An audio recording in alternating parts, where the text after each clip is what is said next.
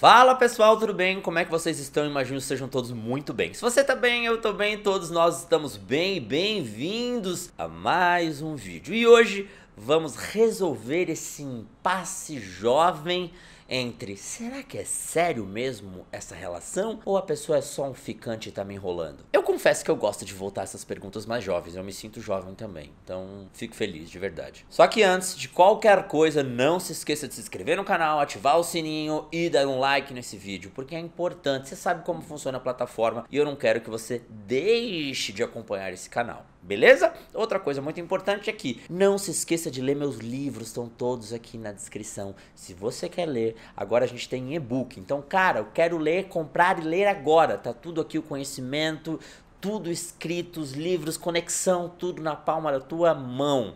Não deixa de participar. E também, claro, não se esqueça do meu curso de 21 dias para você se tornar uma pessoa mais leve e do meu curso de escrita terapêutica para quem quer aprender a escrever e usar a escrita como forma de autoconhecimento.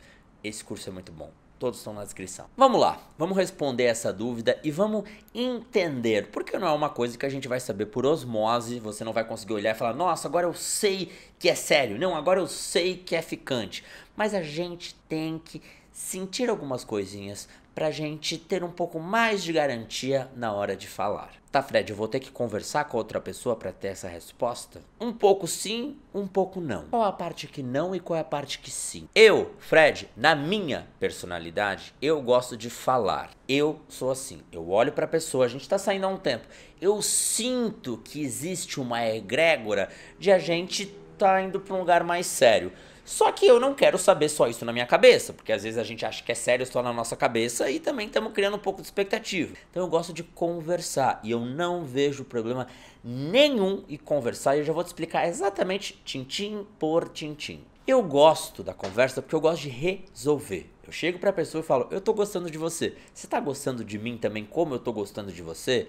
Aí a pessoa pode falar: "Não, eu não estou". E aí a gente tem que alinhar nossas expectativas e, ó, ou eu continuo mesmo sabendo, ou eu não continuo e sigo em prol de uma coisa que eu queira. O problema, o grande problema é você não seguir para onde você quer, nem só ficar com a pessoa, e sim ficar com a pessoa tentando mudar ela. Mas a gente já vai chegar lá. Quando a gente chega e fala, a gente resolve a situação. E eu prefiro a sensação de resolver algo, de saber o que está acontecendo, do que a possibilidade, o medo de ser rejeitado. Pensa comigo, eu tô ali com alguém e eu não quero ficar perdendo tempo com alguém que não queira a mesma coisa que eu, com medo da rejeição. Eu prefiro chegar e falar: Ei, você tá sentindo igual eu? A pessoa fale sim ou não. Ela falou não, eu sigo o meu caminho. Ou eu aceito tudo aquilo. O grande ponto é cuidar para não aceitar uma coisa só para fingir e no fundo tá querendo mudar o outro e isso te magoar. Muito cuidado nisso. O outro tem que ter responsabilidade afetiva, mas também você tem que ter clareza do que está acontecendo. E aí você resolve a situação. Eu prefiro olhar e falar, cara, tentei, falei, já entendi o que o outro sente. E às vezes eu até pergunto mais de uma vez, porque como eu sou um pouco assim, eu preciso entender com claridade. Eu lembro de uma situação que eu perguntei pra menina, tava curtindo, eu falei, pô, eu tô curtindo você. Vamos levar um pouco mais a sério, tal, tal, tal, tal. Ela, ah, o que, que é sério? Ah, isso, tal, nananã, paraná, paraná, paraná. Expliquei. Ela falou, pô, não tô muito afim. Falei, não, beleza, mas vamos continuando. Deu uns dois meses, depois falei, eu acho que eu ainda tô afim. Eu vou perguntar só mais uma vez para ter certeza. Então, quando eu gosto de alguém, eu gosto de chegar e perguntar para saber se a pessoa também gosta de mim e quer levar algo a sério. Se a pessoa fala que não, tudo bem, eu resolvi, porque eu prefiro que ela me ache louco do que eu me achar louco por não ter falado o que eu queria falar. Porque eu preciso dormir com a sensação de, cara, eu resolvi, não tive dúvida que ela não tava afim. Eu acho a dúvida muito mais torturante do que eu acho a rejeição torturante. Você tem que aprender que a dor da rejeição, na maioria das vezes, é menor do que a expectativa de ser rejeitado. Entende o que eu quero dizer? A dor da rejeição, a dor de olhar e falar assim: putz, a pessoa não me quis. Às vezes dói menos do que aquela expectativa do outro te rejeitar e você já fica se rejeitando antes. Não terceirize rejeições.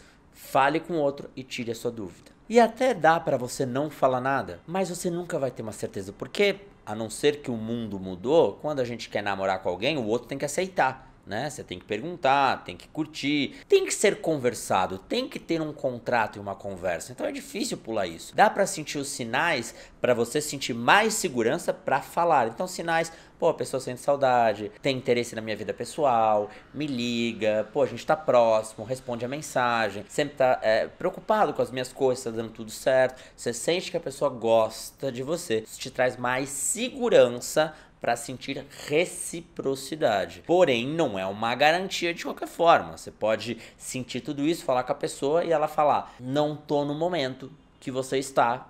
E é isso. E você também tem a opção de esperar o outro tomar atitude, porque daí fica num jogo, na minha opinião, um pouco infantil, porque cara, a gente não tem tempo para ficar perdendo em dúvida de relacionamento né?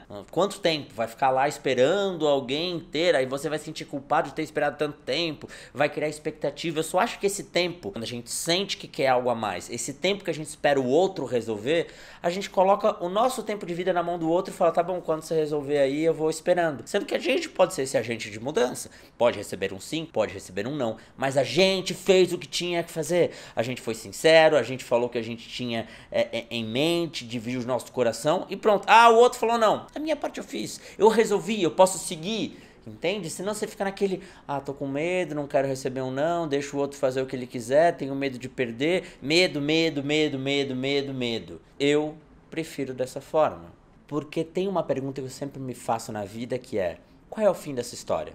Tá, você quer ficar com a pessoa mais sério e você não sabe e você não vai falar. Qual é o fim? Vai esperar ela falar? E se ela não falar? Vai esperar ela terminar? Você vai ficar sempre dependendo do outro tomar atitude para uma coisa que você já quer. É como se você quisesse ir no cinema, só que fala assim: não vou convidar ninguém pro cinema, vou esperar alguém me convidar. Às vezes vai ficar esperando muito tempo. Então é mais fácil convidar, não quis ir no cinema comigo, tudo bem. Pelo menos eu vou sozinho, ou eu acho outra pessoa. Tem de ser. A vida segue, a energia vai, as coisas acontecem. Esse é o grande ponto. Então não se esqueça, faça o que tem que fazer. Quer ficar quieto? Tá tudo bem, não precisa falar, deixa rolar. Mas se isso tá te dando um medo cada vez maior, uma ansiedade, o teu coração tá gritando para falar isso, você fica pensando e tendo expectativa, talvez seja mais fácil tentar resolver e ter uma um sim ou um não do que ficar alimentando uma ansiedade que mais te destrói do que te alimenta amor. É isso, pessoal. Não se esqueça de se inscrever no canal, ativar o sininho, como eu falei, e seguir nas redes sociais. Tem o Instagram, tem o TikTok, tô aqui, tô lá, tenho muita coisa. E claro, meus livros, meus cursos, tudo aqui embaixo. Se você gosta do vídeo, dos livros, você vai amar. Confia, lê um livro meu. Eu te garanto que você vai amar. Te dou a minha palavra. Tô falando sério mesmo. Vai lá.